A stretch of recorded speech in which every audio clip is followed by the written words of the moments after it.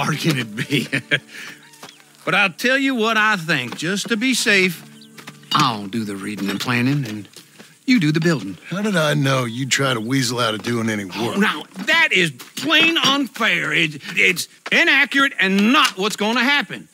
I'm simply going to use what I've got, which is a brain. Now, you use what you've got, which is less of a brain. Let's get started. Well, first thing it says the foundation, which involves moving those heavy wooden joists. Definitely not a job for a man with terminal lumbago unless you want to dig a six foot deep hole for me when the workday's over. Don't tempt me. Oh, here comes Charles. Maybe he can lighten the mood a little. How'd you get on? He'll be back, but not for a while. Charles, dear boy, John needs help moving these joists. Now, come on. Get a move on. We got to get started before the rains come. You're very annoying. He's right. Should get on with this.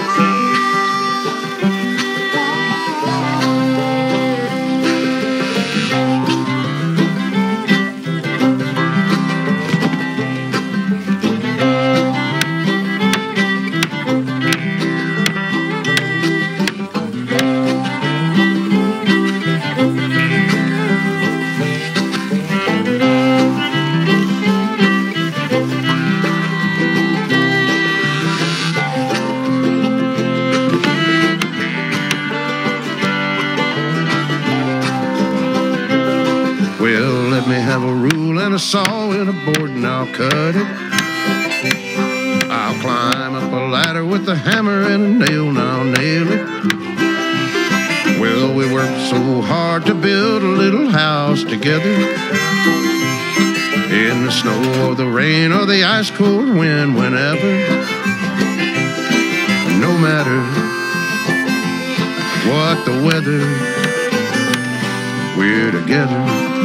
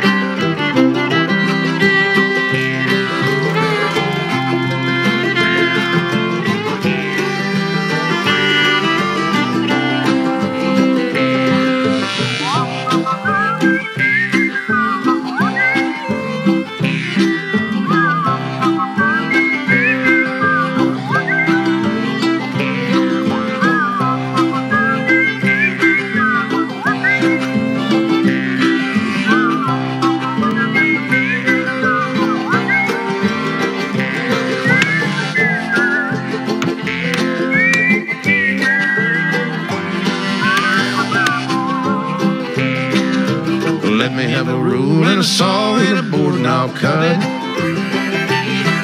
Climb up a ladder with a hammer and a nail and I'll nail it. Well, we worked so hard to build a little house together. In the snow, in the rain, or the ice cold wind, whenever. No matter any weather, we're together.